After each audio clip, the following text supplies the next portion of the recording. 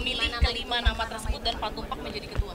Ya kan eh, sudah saya sampaikan yang kita pilih ini adalah beliau-beliau memang yang orang-orang baik.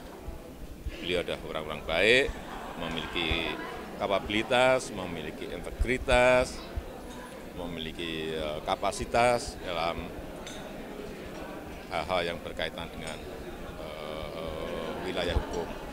Memang ini kita pilih dari eh, sudut-sudut yang berbeda-beda.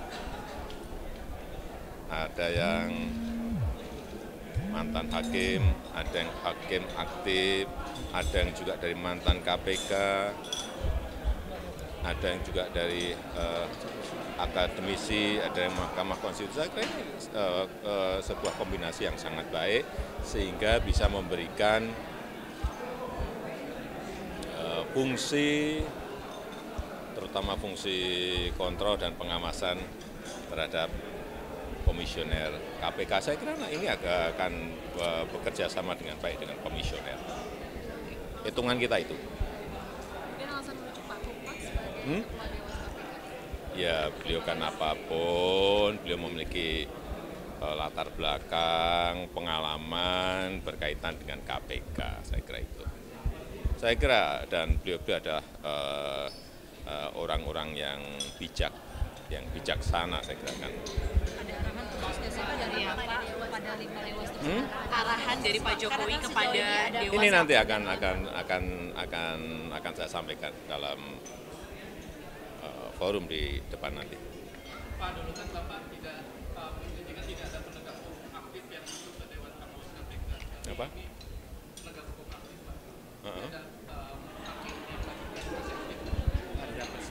Ya memang ada persyaratan normatif di undang-undang, nggak baca undang-undangnya berarti. Coba baca undang-undangnya. Ada persyaratan itu.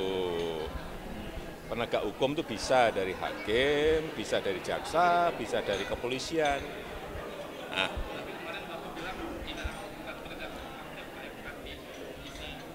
enggak aktif, itu enggak itu enggak baca undang-undangnya. Aparat hukum aktif ada di undang-undang. Salah denger. Pak, harapan untuk yang pimpinan baru? Hmm? Harapan pimpinan baru? Ya kita berharap sekali lagi eh, penguatan KPK itu betul-betul eh, nyata, pemberantasan korupsi bisa dilakukan secara sistematis sehingga betul-betul memiliki dampak yang baik bagi ekonomi, bagi eh, negara kita.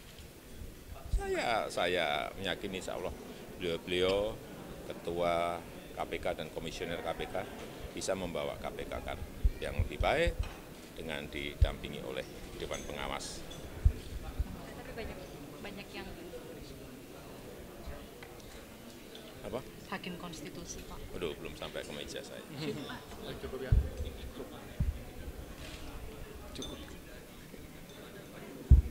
Tahu sampai meja saya? pada target baru yang diberikan kepada pimpinan KPK sekarang sih? Hmm, Melihat kan yang lama sudah hampir Nah. 200 kasus. KPK itu lembaga independen. Pak, soal Dewan Pengawas kan ini kita tahu banyak yang menyoroti Pak pembentukannya apalagi kan dari kewenangannya yang eh, men- menyoroti soal teknis penyadapan itu seperti apa kemudian Pak dari Pak Jokowi? Tanyakan ke Dewas. Ya. Ya, sudah. Terima kasih, Pak. terima kasih. Terima kasih ya. Iya.